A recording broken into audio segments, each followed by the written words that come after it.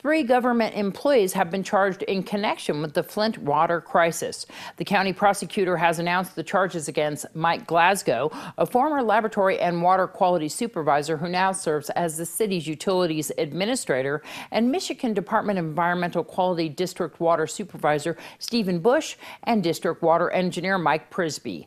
They are charged with various crimes associated with tampering with evidence, willful neglect of duty, misconduct in office, and violating the Safe Water Drinking Act. Two years ago, in a move to save money, they switched Flint's water supply from Lake Huron to the Flint River, notorious for its filth. The Michigan Department of Environmental Quality also failed to treat the corrosive water, which ate into the city's iron and lead pipes, causing lead to leach into the drinking water. Also detected in the water were high levels of E. coli, carcinogens, and other toxins. More than 50 lawsuits have been filed since January. Though Flint's water supply is definitely on its path to recovery, concerns about lead and other issues hinder the cleanup of the system's corroded pipes. Lead contamination levels continue to surpass acceptable federal standards, and residents continue to use bottled or filtered water for cooking or drinking. The hub is being painted purple Sunday afternoon. We caught up with, with Marion Maxfield. The first ever at the Hub, a Relay for Life event, is called Paint the Hub Purple. And we are not going to physically paint the Hub purple, as some people have been thinking. It's the kickoff for Paint the Town Purple, which goes on until Relay, which is May 14th. So we're going to have a big event out here this coming Sunday, the 24th paint the hub purple, and it's going to be out here on this beautiful patio outside, the weather's going to be just like this, gorgeous. We're going to have bands all afternoon, led off by Mike Hickey, and it runs from 1 o'clock to 5 o'clock. And they have awesome food out here. They're going to have specials on hot dogs and hamburgers, and of course, purple drinks. And if you're brave enough, you can have a purple bunny. Which purple bunny? Oh, it's pretty yummy. it's very yummy. And uh, oh, it's going to be so much fun. And this is a Relay for Life fundraising event. There's also a band that is going to be having their debut performance here.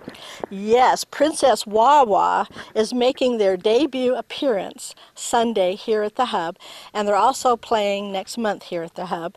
And I don't want to tell you too much about them, let you be surprised. The name is Princess Wawa, and they're so excited to be here for this relay event. They're they're just over the moon about it. The music starts at what time again? It's going to start at one o'clock with Mike Hickey. He's going to lead it off, and we're going to have different people come in and jam. Um, I've got phone calls into different people, different musicians. All the musicians are welcome. I know for sure we're going to have Greg Smith and uh, Gary Fox. I've got a call into Dean West and Bob White. And uh, you want to come out and play, come out and play. If you want to come out and sing, come out and sing. And the newly crowned Miss Senior Nye County, Carol Burton, will be here leading the line dancing. She's a beautiful girl, beautiful line dancer. So we'll be line dancing, dancing, drinking, eating.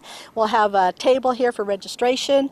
You can register for Relay, which is free, and and uh, survivors you need to come and register. You need to register every year, get your purple t-shirt.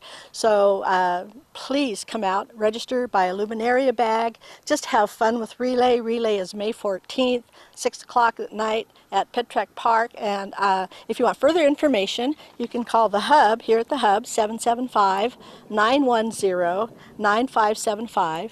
If you want to call me about the event on Sunday, call me at 775 722 1898. And if you want more information about Paint the Town Purple and Relay, our event chair this year is Kayla Genie. Her phone number is 775 688 9096. Thanks, Marion. An important meeting regarding prostate cancer is happening at the Pahrump Nugget tomorrow for men, women, and caregivers. Here's Jim Gregory with more. I'd like to talk about a new uh, blood test that's been developed by uh, a company called uh, OPKO Pharmaceuticals. Uh, this is a blood test that gives you the uh, it's a scale of 1 to 100. It goes into a database which has uh, been compiled over the past 30 years, working in cohort with the Sloan Kettering Hospital back east somewhere. I don't know where it's at, but it's a famous hospital. Uh, what they did, they took over 20,000 guys who were scheduled for biopsy. And they got to these guys just before they went for their biopsy, and they did a blood test. And then after the uh, biopsy test came back, they compared their blood test to the uh, biopsy reports, and very, very similar uh, results. so they're touting this as a replacement for the biopsy, which would be a great thing for men in the future, because the biopsies, number one, they hurt. You can get infected from them they are not that accurate. It's like kind of a shotgun approach. Uh, in this new blood test, it uh, it takes all those guys they have the database on, and puts it into their database, their uh, algorithm, and it kicks out a number from one to a hundred. And the higher the number, the more aggressive your cancer should be over the next 10 to 20 years. That's long term there.